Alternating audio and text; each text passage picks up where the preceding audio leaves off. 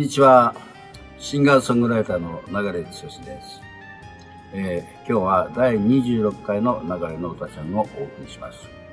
えー、今回もですね、えー、前回あのカラオケ喫茶の話をしたんですけど、え僕が、えデビューして15年になりますけど、デビュー当時、えお世話になってたハッピー音楽事務所同じあの島根県出身の歌手で半蔵ね今売れてるでしょ？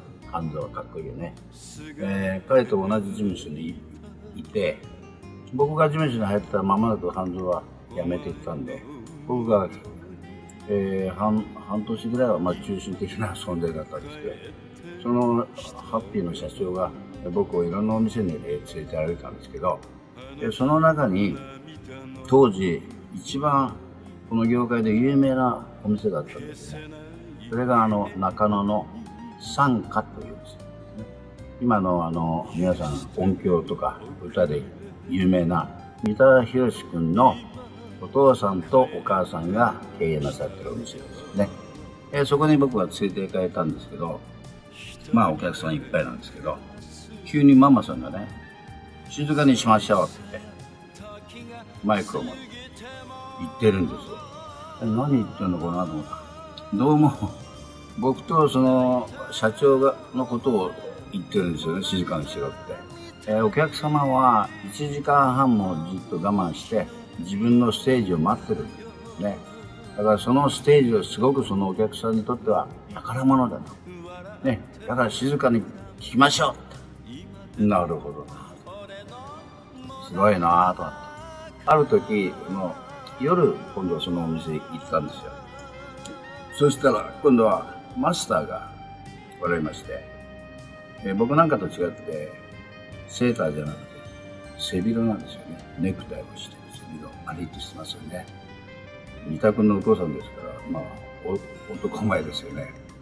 で、僕が座ったら、すぐね、えー、お客様、あの、お車ですか？って。いやいや、電車です。あ、ならいいんだけどね、車だったら飲ませないから。えー、まあ、焼酎一杯くださいっていうことで、いきなりそう言って言われたから、なんかビビっちゃって、えー、すごいお店だなね。でも、僕もお店やってましたんで、だいぶ俺とは違うな。ねこういうお店があるんだなって、偉いなと、本当に勉強になったと思ったんですね。えそれからあのまもなく僕が今のフレンドリー歌謡祭とか友達の歌謡祭をやるようになってもう10年ですけど、えー、ずっとその三田博君が音響屋さんとして参加してくれてるんですよねでその三田君がよく僕に言うんですけど、えー、このままだとこのカラオケ業界がダメになってしまう後に続く人たちがいない若い人がいないということですね。うん、全くその通りだねって。でも僕はね、それは、それを解決する方法はないよと思ってるんですよね。だってね、カラオケボックス行っちゃうじゃないですか。若い人はね。だからもう僕はね、もう割り切って、えー、こんな YouTube を、こういうのがあるから、これでなんとかね、えー、道を開こうと。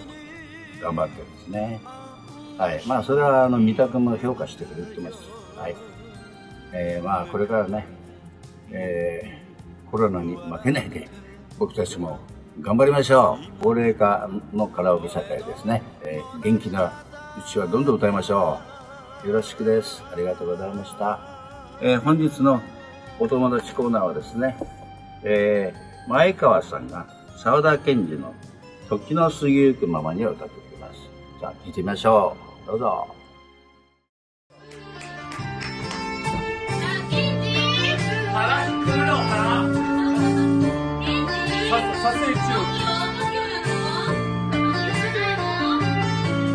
あなたは疲れてしまい生きてことさえ嫌だと言った壊れたピアノで思い出の歌片手で弾てはため息ついた時の過ぎゆくままに好みを任せ男と女が漂いながら落ちてゆくのも幸せだよと二人冷たい体合わせる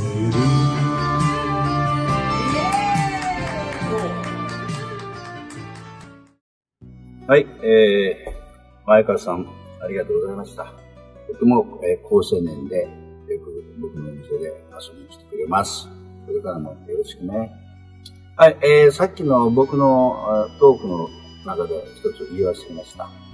えー、この参加はですね、えー去年の12月をもちまして、えー約30年間の営業を、えー終わりになさいました。ねとてもショックですけど、えーママさんも、あの元気なママさんもパパさんも80をも超えられまして、もう体力的に難しいという。まさに、あの、高齢化社会の、え象徴的な、えー参加さんでした。ね。どうもありがとうございました。はい、えー、それではですね、僕の歌ですね、矢吹健さんですね。あの、実践的な歌い方をする矢吹健さん。30年ほど前にちょっと僕はあの、永住時代に電話で何度もお話ししたことがすごくご親しみを持ってますけど、有名な後ろ姿に挑戦したいです。見てみてください。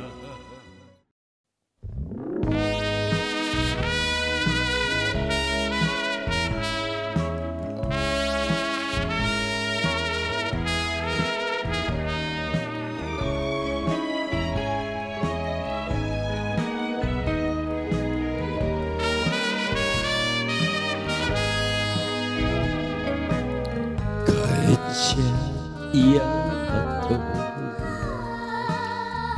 言えない私今夜も来ると言わないあなた。何でもないような顔して足音だけが遠ざかる。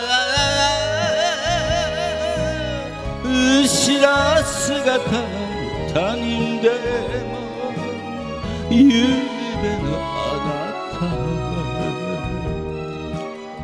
は私の私の私のもの。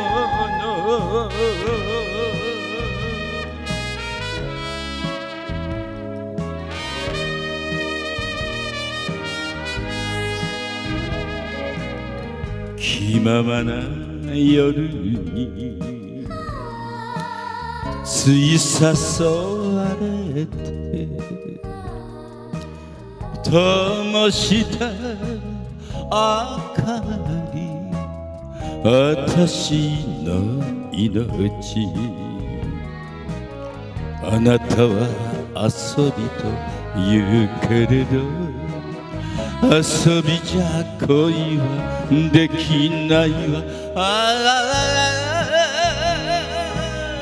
今朝のあなたは他人でも夕べのあなたは。私の私の私のもの。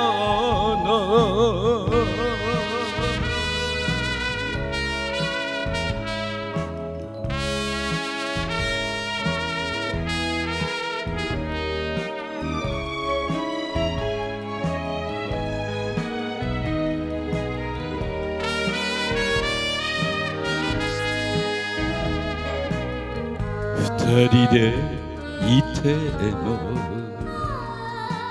寂しい夜を一人にさせたあなたが憎い誰もいないこの部屋の明かりをつけて恋を消す。ああ別れ言葉は他人でも夕べのあなたは。私の私の私のもの。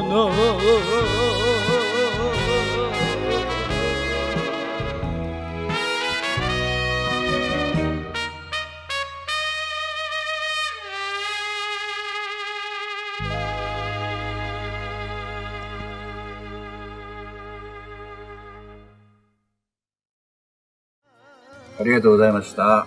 後ろ姿でした。えー次回第、えー27回の歌ちゃんは、五木ひろしさんのアジサイに挑戦したいと思います。とてもいい歌です。アジサイを楽しみにしてください。